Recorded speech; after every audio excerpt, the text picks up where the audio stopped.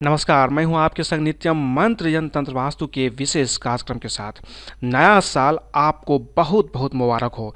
नए साल की जनवरी माह में जो सबसे महत्वपूर्ण पर्व है, वो है मकर संक्रांति। मकर संक्रांति के दिन आप किस तरह से भगवान सूर्य की उपासना करेंगे? सूर्य और शनि से संबंधित अगर कोई आपके जीवन में समस्याएँ हैं तो उसे भी आप दूर कर सकते हैं। साथ में हम ये जानेंगे कि आखिर इस राशि परिवर्तन को, सूर्य के इस राशि परिवर्तन को क्यों कहते हैं मकर संक्रांति? मकर संक्रांति के दिन दान करना क्यों महत्वपूर्ण है? साथ में इस साल आप मकर संक्रांति कब मनाएँगे? 14 जनवरी या 15 जनवरी को। साथ में हम आपको ये भी बताएँगे, ज्योतिष के अनुसार मकर संक्रांति का क्या है महत्व? साथ में राशि के अनुसार आपको मकर संक्रांति के दिन क्या खास करना है? लेकिन इसके पहले अगर आप हमारे चैनल को सब्सक्राइब नहीं किए हैं तो कृपया से सब्सक्राइब कर लें तथा बेल बटन को भी दबाएँ ताकि नई वीडियो का नोटिफिकेशन आपको तुरंत मिल जाए। सबसे पहले हम जानते हैं कि आखिर क्या होता है मकर संक्रांति। सूर्य का किसी राशि में जाना संक्रांति कहलाता है। मकर संक्रांति में मकर शब्द मकर राशि का प्रतीक है, जबकि संक्रांति का अर्थ होता है संक्रमण करना। सूर्य जब मकर राशि में प्रवेश करता है तो इसे मकर संक्रांति कहते हैं। मकर संक्रांति से अग्नि तत्व की शुरुआत हो जाती है। वातावरण में शीत ऋतु धीरे धीरे कम होने लगती है। मकर संक्रांति पूजन से जीवन में खुशहाली, समृद्धि और शांति आती है। इस दिन ऐसा माना जाता है, गंगा स्नान कर व्रत, कथा, दान और भगवान सूर्य की उपासना करने का विशेष महत्व होता है। मकर संक्रांति के दिन दान का आखिर क्या महत्व होता है? आपने सुना होगा कि मकर संक्रांति के दिन दान का काफ़ी अधिक महत्व होता है। अगर आप इस दिन दान करते हैं तो इस दान का आपको सौ गुना अधिक फल मिलता है। मकर संक्रांति के दिन से सूर्य दक्षिणायन से उत्तरायण हो जाता है। शास्त्रों के अनुसार दक्षिणायन को नकारात्मकता तथा उत्तरायण को सकारात्मकता का प्रतीक माना जाता है। इसलिए इस दिन, मकर संक्रांति के दिन जप, तप, दान, स्नान, श्राद्ध, तर्पण आदि धार्मिक कर्मों का विशेष महत्व माना जाता है। इस दिन ऐसा मानते हैं कि शुद्ध घी एवं कंबल का दान करने से मोक्ष की प्राप्ति होती है। तो मकर संक्रांति के दिन अगर आप कुछ करें ना करें, भगवान सूर्य को जल अवश्य दें और साथ में एक कंबल का दान किसी गरीब को आप अवश्य करें, यह आपके लिए काफ़ी महत्वपूर्ण होगा। इस साल 2020 में मकर संक्रांति आपको कब मनाना चाहिए? देखिए, साल 2020 में सूर्य 14 जनवरी की शाम को मकर राशि में प्रवेश कर रहा है। चूँकि संक्रांति पुण्य स्नान सूर्योदय पर किया जाता है, इसलिए इस बार संक्रांति 15 जनवरी को मनाई जाएगी। तो आपको मकर संक्रांति इस बार 15 जनवरी को ही मनाना है। अब है कि ज्योतिष के अनुसार मकर संक्रांति का क्या महत्व होता है?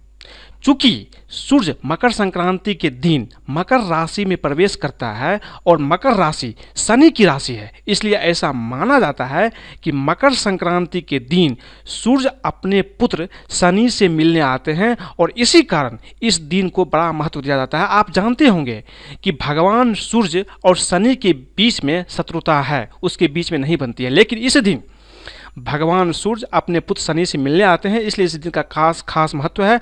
और इसलिए इस दिन आप भगवान सूर्य के साथ साथ भगवान शनि को भी प्रसन्न कर सकते हैं, जो हम आपको आगे बताएँगे। अब यह है कि मकर संक्रांति के दिन आपको क्या करना चाहिए? क्या खास उपाय करना चाहिए? क्या आपको सबसे सिंपल चीज़ करना चाहिए, ताकि मकर संक्रांति का पूरा पूरा फ़ायदा आपको मिले? मकर संक्रांति के दिन सूर्योदय के बाद पहले घंटे में, सूर्योदय के एक घंटे के अंदर अंदर आपको स्नान कर लेना चाहिए और सूर्य को सादा जल से ओम घिरनी सूर्याय नमः इस मंत्र का जाप करते हुए सूर्य को अर्घ देना चाहिए। किसी निर्धन को अनाज, नए कंबल और घी का दान आप अवश्य करें। ये आपके लिए बहुत ही महत्वपूर्ण होगा। मकर संक्रांति के दिन दान का बहुत बड़ा महत्व होता है। और इस दिन दान करने से आपकी कई तरह की समस्याएँ खत्म हो जाती है। नए अन्न से खिचड़ी बनाएँ और भगवान को अर्पित करने के बाद प्रसाद के रूप में आप इसे ग्रहण भी कर सकते हैं। अब यह है कि मकर संक्रांति के दिन अगर आपको सूर्य से संबंधित कोई समस्याएँ हैं, जैसे आपको अपने पिताजी से नहीं बनता है, आपको आँख की समस्याएँ हैं, सरकारी चीज़ें, सरकारी काम में आपको अड़चन आ रही है तो इस तरह की अगर समस्याएँ हैं, यानी सूर्य से संबंधित कोई भी समस्याएँ हैं तो आप भगवान सूर्य को इस दिन प्रसन्न कर सकते हैं और इस दिन उपाय करने से भगवान सूर्य तुरंत प्रसन्न हो जाते हैं, कम एफर्ट में प्रसन्न हो सकते हैं। तो आपको करना क्या है? जल में लाल फूल और अक्षत मिलाकर भगवान सूर्य को आप अर्घ दें। इसके बाद सूर्य के जो बीज मंत्र हैं, इसका कम से कम आप एक से आठ बार अवश्य जाप करें। मंत्र है, ओम ह्राम ह्रीम ह्रोम सह सूर्याय नमः। इसके साथ साथ आप चाहें तो सूर्य गायत्री मंत्र का भी जाप कर सकते हैं। मंत्र है, ओम भास्कराय विद्महे, महातेजाय धीमहि, तन्नो सूर्य प्रचोदयात। इसके बाद लाल वस्त्र, तांबे के बर्तन और गेहूँ का आप करें। निश्चित रूप से आपकी ज़िंदगी में सूर्य से संबंधित कोई भी समस्याएँ होगी तो ये समस्याएँ दूर हो जाएगी और आपके जो भी काम रुके हुए हैं, वो भी काम बनने लगेंगे। मैंने आपको पहले बताया कि इस दिन मकर संक्रांति के दिन चूँकि सूर्य भगवान शनि से मिलने आते हैं, इसलिए आप मकर संक्रांति के दिन भगवान शनि को भी प्रसन्न कर सकते हैं। जल में तिल और अक्षत मिलाकर सूर्य को आप अर्घ दें। इसके बाद शनि के मंत्र का कम से कम आप एक सा आठ बार जप कर लें। मंत्र है, ओम प्राम प्रीम प्रोम सह शनिश्राय नमः। काला कंबल, लोहे के बर्तन तावा, कढ़ाई और घी का दान आप अवश्य करें। निश्चित रूप से भगवान शनि आपके ऊपर प्रसन्न होंगे और भगवान शनि अगर आपके ऊपर प्रसन्न हो गए तो आपकी ज़िंदगी में जितनी तरह की रुकावट है, सारी रुकावट दूर हो जाती है। आपको चारों तरफ़ से लाभ ही लाभ मिलता है। अब है कि राशि के अनुसार आपको क्या करना चाहिए मकर संक्रांति के दिन? क्या आप करें, क्या आप दान करें? सबसे पहले मेष राशि। आप जल में पीले पुष्प, हल्दी, तिल मिलाकर के भगवान सूर्य को आप अर्घ दीजिए। तिल और गुड़ का दान दीजिए, आपको उच्च पद की प्राप्ति हो सकती है। वृषभ राशि। जल में सफ़ेद चंदन, दूध, श्वेत पुष्प, तिल डालकर भगवान सूर्य को आप अर्घ दें। महत्वपूर्ण योजनाएँ प्रारंभ होने के योग बनेंगे। आपको ये काम अवश्य कर लेना है। मिथुन राशि। जल में तिल दुर्वा तथा पुष्प मिलाकर भगवान सूर्य को अर्घ दें, गाय को हरा चारा दें, मूंग की दाल की खिचड़ी दान में दें, ऐश्वर्य की प्राप्ति होगी। कर्क राशि को क्या करना है? जल में दूध, चावल, तिल मिलाकर के भगवान सूर्य को आपको अर्घ देना है। चावल, मिश्री, तिल का भी आप दान कर सकते हैं। कलह, संघर्ष, व्यवधानों से आपको मुक्ति मिलेगा। सिंह राशि के लोगों को मकर संक्रांति के दिन क्या करना चाहिए? जल में कुमकुम तथा लाल पुष्प तिल डाल करके भगवान सूर्य को अर्घ दें। तिल, गुड़, गेहूँ, सोना का भी आप दान दे सकते हैं। किसी बड़ी उपलब्धि की प्राप्ति हो सकती है आपको। कन्या राशि, जल में तिल, दुर्वा, पुष्प डाल करके भगवान सूर्य को अर्घ दें। मूंग की दाल की खिचड़ी दान दें, गाय को चाला दें, शुभ समाचार मिलेगी। तुला राशि, आपको मकर संक्रांति के दिन सफ़ेद चंदन, दूध, चावल तिल मिलाकर के भगवान सूर्य को अर्घ देना चाहिए। चावल की आप दान करें। व्यवसाय में बाहरी संबंधों से लाभ और शत्रु से आपको निजात मिलेगा। वृश्चिक राशि, जल में कुमकुम, रक्त पुष्प तथा तिल मिलाकर के भगवान सूर्य को अर्घ दीजिए।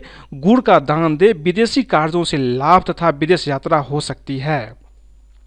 इसके साथ साथ धनु राशि, जल में हल्दी, केसर पीले पुष्प मिला करके आप सूर्य को रख दें, चारों ओर से विजय होगी मकर राशि।